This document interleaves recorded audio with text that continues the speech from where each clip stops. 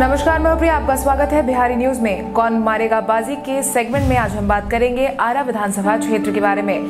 बिहार में विधानसभा चुनाव की तारीखों की घोषणा हो गई है। ऐसे में सभी राजनीतिक पार्टियों ने चुनाव की तैयारी पूरी कर ली है। लगभग सभी राजनीतिक पार्टियों ने अपने उम्मीदवारों के नाम की घोषणा कर दी है। ऐसे में आज हम आरा विधानसभा क्षेत्र की बात करेंगे। इसके साथ ही हम इस विधानसभा क्षेत्र के अतीत से लेकर वर्तमान में चल रही राजनीतिक गतिविधियों को विस्तार से जानेंगे। आरा विधानसभा निर्वाचन क्षेत्र भोजपुर ज़िले के अंतर्गत आता है। यह आरा संसदीय क्षेत्र का भाग है।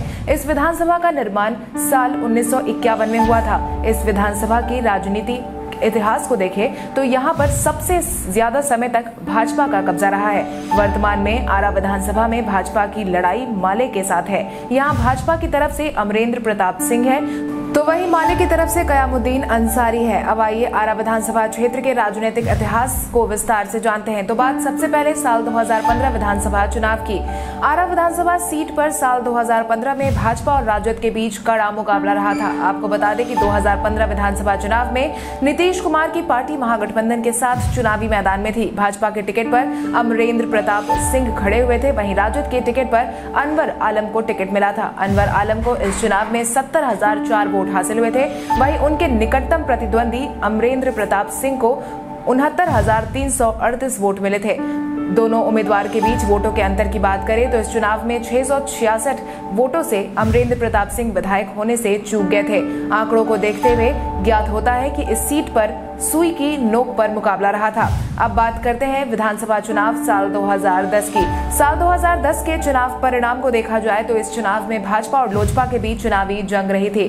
भाजपा ने अपने प्रत्याशी अमरेंद्र प्रताप सिंह को उतारा था। वहीं लोजपा के कुमार सिंह को टिकट दिया गया था। कुमार सिंह को यहाँ सैंतीस वोट मिले थे और अमरेंद्र प्रताप सिंह को छप्पन वोट हासिल हुए थे। अमरेंद्र प्रताप सिंह अठारह वोट से जीत गए थे। वहीं बात करें साल 2005 और 2000 विधानसभा चुनाव की तो साल 2005 और 2000 के चुनाव परिणाम की बात करें तो इस चुनाव में भी भाजपा का कब्जा रहा था। भाजपा के टिकट पर अमरेंद्र प्रताप सिंह चुनावी मैदान में उतरे थे और दोनों ही बार विधायक निर्वाचित किए गए थे। अब बात उन्नीस विधानसभा चुनाव की। अब हम चुनावी साल उन्नीस सौ पंचानवे की तरफ़ चले तो इस चुनावी साल में आरा सीट पर जनता दल का कब्जा रहा था। आरा की सीट से अब्दुल मलिक विधायक निर्वाचित हुए थे। वहीं बात उन्नीस विधानसभा चुनाव की करें तो जनता दल ही विजेता रही थी।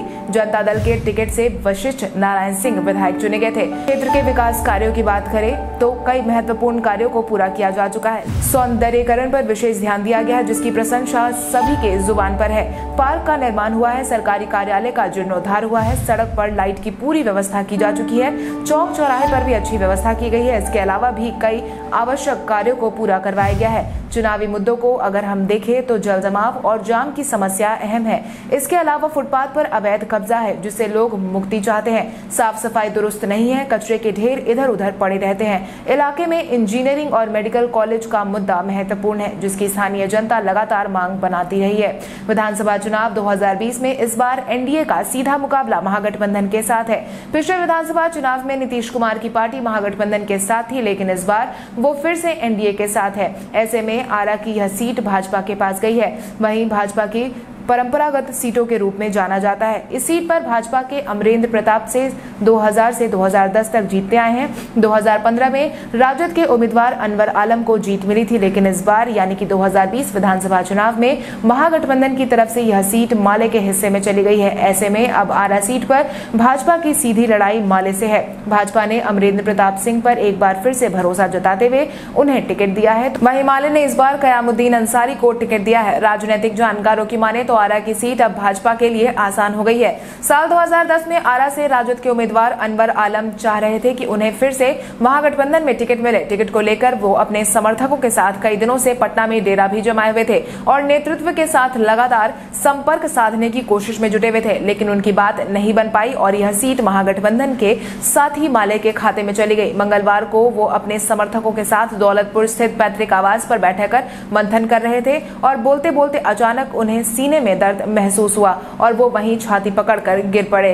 इसके बाद उन्हें आनंद फानंद में, पटना में एक निजी अस्पताल में भर्ती कराया गया, जहाँ डॉक्टरों ने बताया कि उनको हार्ट अटैक आया है। आज के इस वीडियो में इतना ही, तब तक के लिए धन्यवाद।